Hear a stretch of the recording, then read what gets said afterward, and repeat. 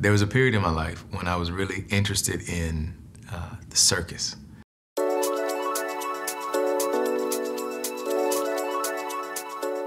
Hey, what's up, InStyle? I'm Andre Holland, and you are watching This Guy.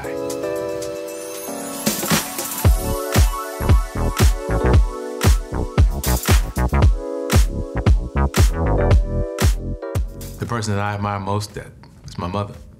That, They don't make them like my mother anymore. She's no no no offense, no tea, no shade to the ladies out there, but but my mom is a special special woman. She's just magic. She's just a magic magic person, and uh, yeah, and I love her, love her dearly. That's my girl. I think that you know the thing that my mother, something that my mother taught me about love. It's something that I learned, you know, she never said like, here's something about love that you should know, but things that I just sort of learned from being around her is grace, what it means to extend grace to another human being. Being able to extend people uh, understanding, um, patience, favor, even when they don't necessarily deserve it, uh, is something that I saw my mother do. You know, she never gave up on the people that she loved. And so that is something that I hope that I can bring to my relationships. Yes, yes, I do remember my first kiss. It was uh, a summer camp in Mississippi that I had gone to. And last, last night of the camp, we had this party. And all, all throughout the camp, there was this, this girl named Shannon who I thought was so cute. And so on the last night, this group of guys, like me and three friends that I had made at the camp, got together and we created this dance routine to Jodeci's Cry For You, which is like a deep cut, old school, um, and we got up in our little suits and we performed the whole thing and, you know, and then afterwards, uh, there was like a dance and Shannon came over and asked me to dance and she said that she liked our little routine and while we were dancing, we had a little smooch. And it was the first one and it, uh, I, yeah, I'll never forget it. It was a, it was a whole vibe. Oh yeah, when I was younger, my celebrity crush was Halle Berry. That's who was on my wall in my bedroom, was Halle.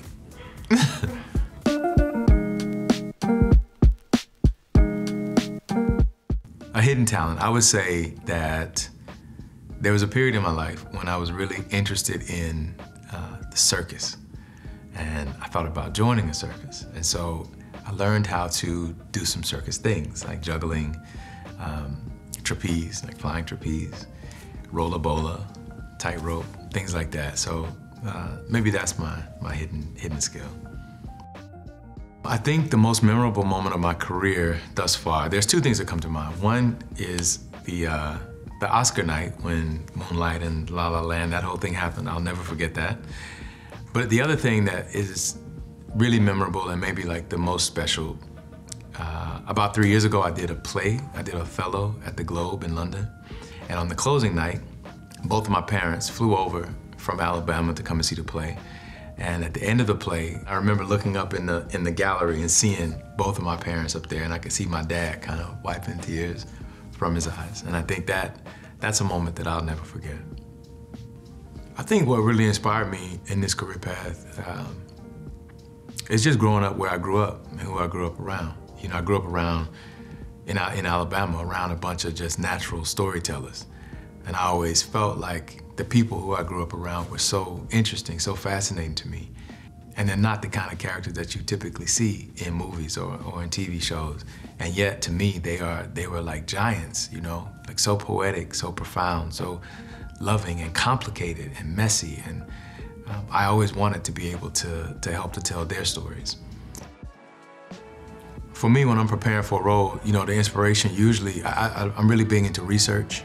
And inevitably, you know, I bump into things that surprise me, that move me, uh, that inspire me. So it's usually through that process that I that I find something that uh, that ignites me in a in a particular way. Wow, the first album I ever owned, it was either it was either the Dead President soundtrack or and I think it was this Rent the musical. That was my jam. I'm Andre Holland. This has been InStyle, This Guy. I've had a great time. I hope you have too. See you next time.